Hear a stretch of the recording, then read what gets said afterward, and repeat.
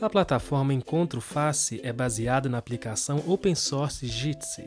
Acesse a plataforma em encontro.face.ufmg.br. Defina um nome para sua sala.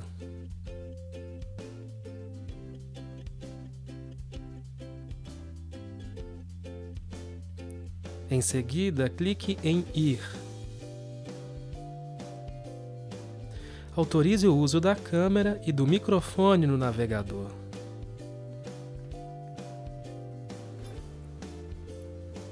O anfitrião da sala deve utilizar o mesmo login face para iniciá-la. Pronto, a sala está aberta. É importante definir uma senha para sua sala clique em Adicionar senha. Digite uma senha e pressione Enter no teclado em seguida. Clique no ícone para exibir o link de compartilhamento e a senha definida. É possível copiar o link com um clique. Para compartilhar a tela, clique no primeiro botão inferior. Selecione a tela que deseja compartilhar. Para interromper o compartilhamento, selecione o botão azul abaixo. Para abrir o chat, utilize o terceiro botão.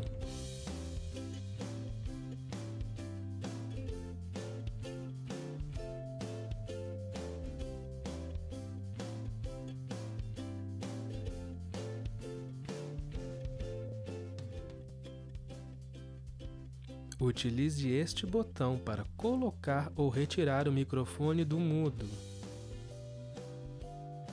Utilize este botão para habilitar ou desabilitar sua câmera.